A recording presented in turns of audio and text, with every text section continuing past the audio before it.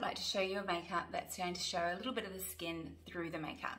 So first of all, this is going to look strange, but this is my hair hack. Oh, don't know if I can do this the whole video, for curly hair. So I've got very curly hair, and if I stick these up like this, then it trains the hair to sit back and it doesn't put any extra kinks and it allows it to dry.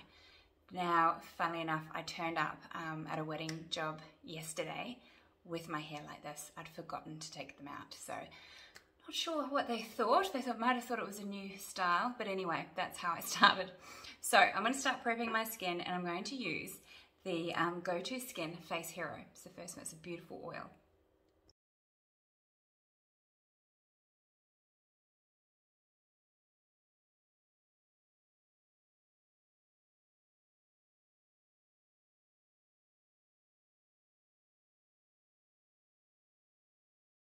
Okay, so it's really important to let that product settle in because it is an oily product and you really want your skin to just absorb that and everything that it'll give. So it's, it's already started to give me quite a nice boost of hydration. Um, yep, and I've popped it down my neck as well. The next product I'm going to use is the Airyday um, Sunscreen. Now this I've just come to absolutely love. I've only got onto it in the last couple of months and it just, you'll, you'll notice straight away when I start putting it on, it'll get rid of that dewy look, but it just settles into the skin beautifully.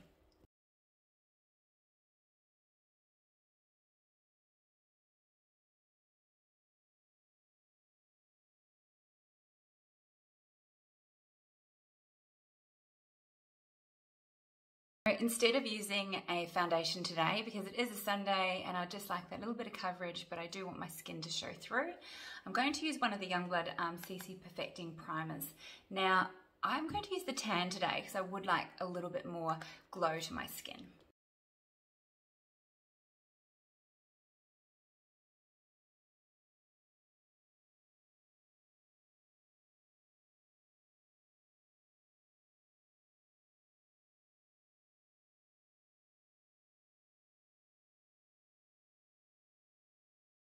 So to keep it in with all these nice creamy products, I'm going to use one of the Charlotte Tilbury, um, it's called the Contour Wand. So we're going to contour with this. Now I know it has spilt a little bit, yes. So we're just gonna place that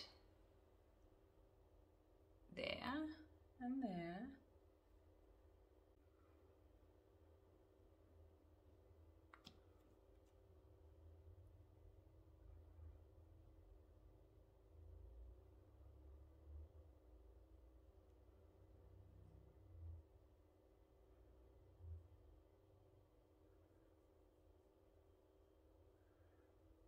Okay, so if you've done this and added too much, go in with your brush and just really buff that up and out and you'll realize that it's not as dramatic as it first appeared.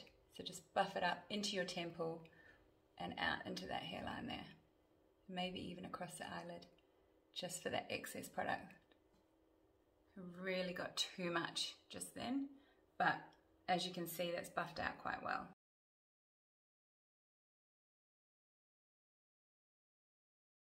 Going to use the Charlotte Tilbury highlighter and I'm going to go a lot easier with this product knowing now that it is quite full on. So I'm just dotting a couple of dots on the high points of my cheeks there, a little bit through the middle of the nose and then we'll just blend that in with the finger. So keeping it just on those high points and again really natural even tempted to just put a little bit just underneath that brow bone. For the cheeks, I'm going to use the Makeup by Mario, the Pale Petal. So it has the blush on that side and also the brush on the other. I'll show you how I do that.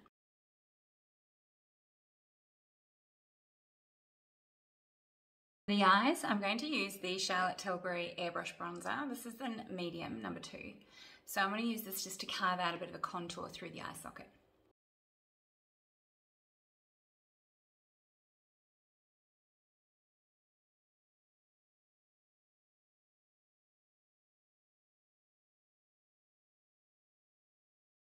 In the same bronzer, I'm just going to set where we've done the cream bronzer.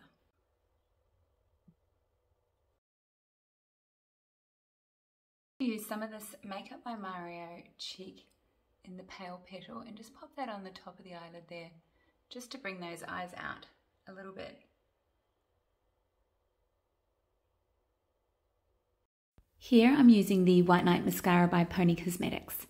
I'm just quickly hiding a few little blemishes with a little bit of foundation and also tidying up underneath the eye area as well. Combing through my brows with a spoolie brush.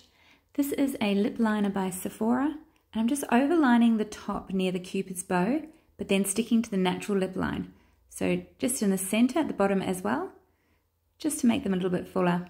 I'm using the Pale Petal um, blush stick to go over that. So there you have, it's a very natural glowy look with not too much foundation, just enough to cover any of those blemishes, um, letting the skin sort of show through. And then I'll show you how I take these out. So see how it helps the hair stay up.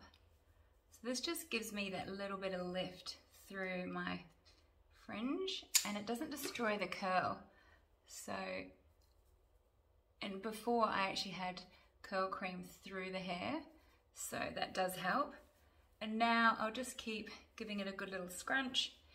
If you decide, like say this side's not as high as that side, you can go back in and just give it another set, set it like that for a little bit longer.